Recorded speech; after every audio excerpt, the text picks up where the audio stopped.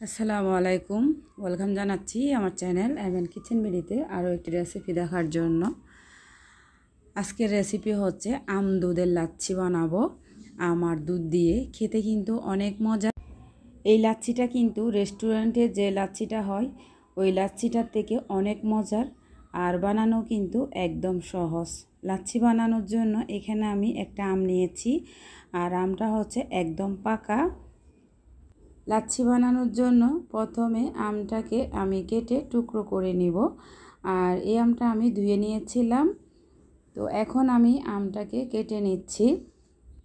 আম দুধের লাচ্ছিটা এতটাই মজার, আপনারা যদি একবার বানিয়ে খান তাহলে বুঝতে পারবেন এই লাচ্ছিটা কতটা টেস্টি। তো আপনারা কিন্তু একবার খেলে এটার স্বাদ জীবনও ভুলতে পারবেন না, বারবার বানিয়ে খাবেন আশা করি।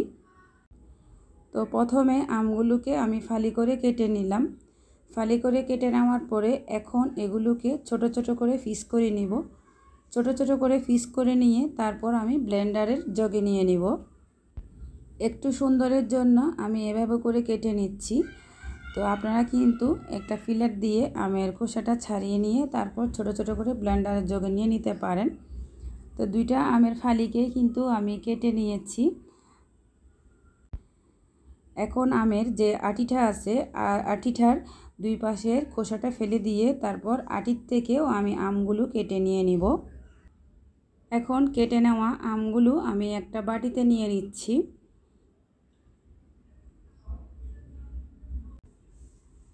আমগুলো কিন্তু প্রচুর মিষ্টি। এই আমগুলো, এটার নাম হচ্ছে গোবিন্দভোগ আম। তো আমটা কিন্তু প্রচুর মিষ্টি, আর আমটা একটু বড় সাইজে, সেজন্য একটা আম নিয়েছি আমি। তো ব্লেন্ডারের জগের মধ্যে কেটে নেওয়া আমগুলো নিয়ে নিলাম। এখানে একটা আমের পুরোটাই নিয়ে নিলাম আমি।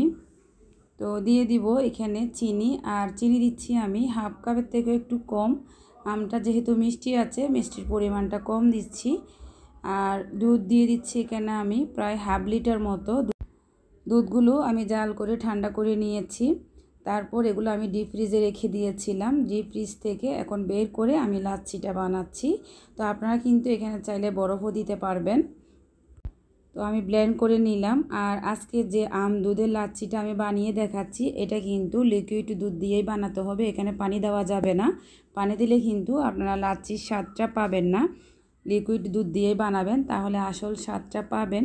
খেতে কিন্তু অনেক মজা লাগবে। অনেক অনেক মজার এই লাচ্ছিটা। আমি কিন্তু সবসময় আমার বাচ্চাকে করে দেই যখন আমি সিজনটা থাকে। তো এখন দুইটা গ্লাস নিয়ে নিলাম। আমি এখানে লাচ্ছিগুলো ঢেলে নিচ্ছি। মানে মিষ্টি দই, টক দই ছাড়া আম দুধের লাচ্ছি তৈরি হয়ে গেল। খুব সহজে গ্লাসে ঢেলে নিলাম। এখানে কিন্তু আপনারা চাইলে পাউডার দুধও দিতে পারেন, দুই টেবিল চামচ পরিমাণ। তাহলে কিন্তু আরও একটু মজা বেশি লাগবে।